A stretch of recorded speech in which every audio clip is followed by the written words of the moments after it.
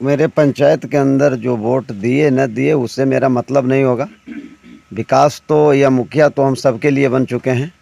और सबका जो है, सब, सारे लोग का मैं आभार प्रकट करता हूँ और सभी लोग को मिलजुल करके साथ भाईचारा बना करके चलने का काम करूँगा। और सबको चाहूँगा, समाज समाज का मुख्य धारा में जोड़ करके विकास के अंतिम पौधान तक पहुँचना मेरा लक्ष्य होगा।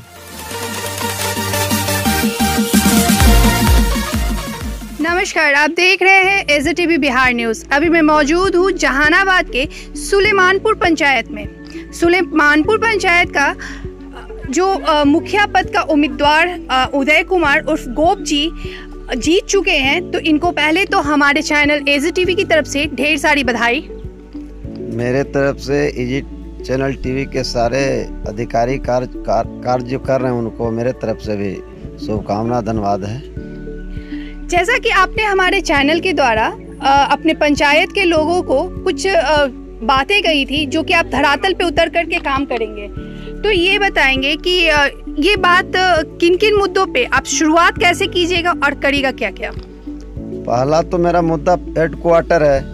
सबसे पहला मेरा हेड क्वार्टर है जो आरटी में पास करा लिया गया था जो सुलमानपुर में नियम के अनुकूल बनना है।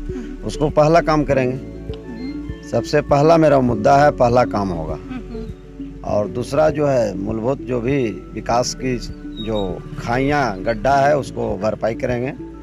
जहाँ तक कि शिक्षा की जो नीति है मेरे स्कूल पंचायत के अंदर में शिक्षक वगैरह ये सारे लोग पर जो है प्रयास करेंगे कि सुधार करके भविष्य को शिक्षा की लाइन जो है बढ़िया से शिक्षा दे पाएँ बाल बच्चे को। चैनल से जो आपने वादा किया था वो कितना पूरा करेंगे? वो चैनल से जो वादा किए हैं मैं तो चाहूँगा हंड्रेड परसेंट पूरा करना। हमेशा चाहूँ कि हंड्रेड परसेंट पूरा हो। उससे एक इंच पीछे हटने नहीं जा रहे हैं। आप जीत चुके हैं। तो जीत के बाद आप अपने ग्राम के लोगों को पंचायत के लोगों को आ, क्या बोलना चाहेंगे? पंचायत के ग्रामवासियों को मेरे तरफ़ से तो खूब शुभकामनाएँ हैं। शुभकामना है सारे लोग का। तो मेरे पंचायत के अंदर जो वोट दिए न दिए, उससे मेरा मतलब नहीं होगा। विकास तो या मुखिया तो हम सबके लिए बन चुके हैं। और सबका जो है, सब सारे लोग का मैं आभार प्रकट करता हूँ।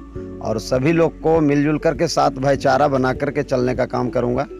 और सबको चाहूँगा समाज समाज का मुख्यधारा में जोड़ करके विकास के अंतिम पौधान तक पहुँचना मेरा लक्ष्य होगा।